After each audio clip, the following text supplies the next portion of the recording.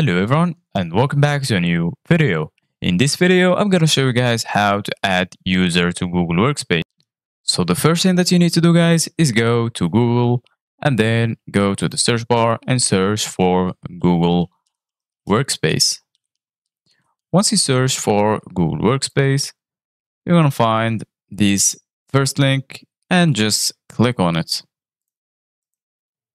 So as you can see guys, this is how the interface looks like.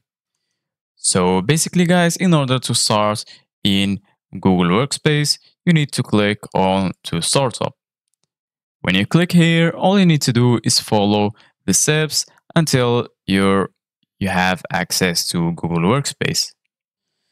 So from here, if you click on find the right plan, you're gonna find the plans for Google Workspace. So there is the business starter with 5 euros, the standards business with 11 euros, and the business more. You can also have a free trial for 14 days. Basically, guys, from here, there is a lot of sections, solutions, products. So from here, you can see all of the products related to Google Workspace. And here you can see all of the sectors and the prices. As you can see, guys, this is the business starter, business standards, business plus, and enterprise.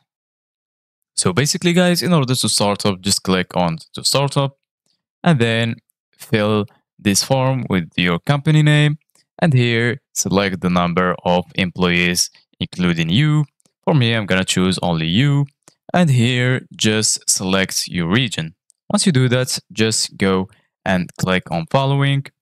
And as you can see guys, from here you can add your first name and your name and also your email address. Once you do that, just click on following.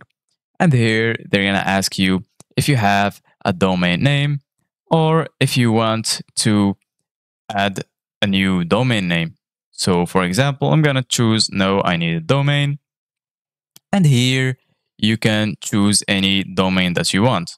So for example, I'm gonna type this name and then click on this icon in order to search for domains. So from here, you're gonna find all of the domains available uh, for this name and also the price of the domain. So this is it guys for today's video. Thank you guys for watching. See you guys in the next video.